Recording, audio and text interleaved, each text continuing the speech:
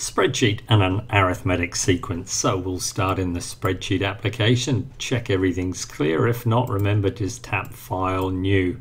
Now, uh, this sequence begins with a first term of 5. So into cell A1, we've got the selection there, and we're going to tap 5 and execute. And the number 5 appears in that first cell.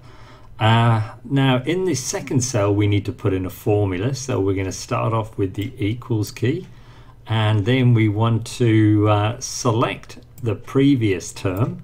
You'll notice when I tapped into cell A1 in the formula bar at the bottom here, A1 has appeared.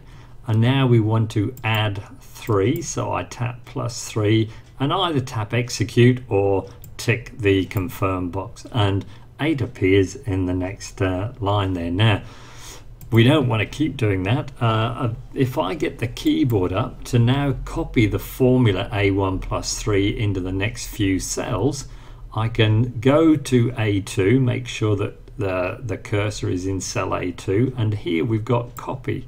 And I'll tap into A3 and paste, and into A4 and paste, and into A5 and paste. Now, that could be tedious if we wanted to go down to cell 100, but we'll look at some quicker ways in the next couple of videos to do with uh, the Fibonacci sequence and geometric sequences.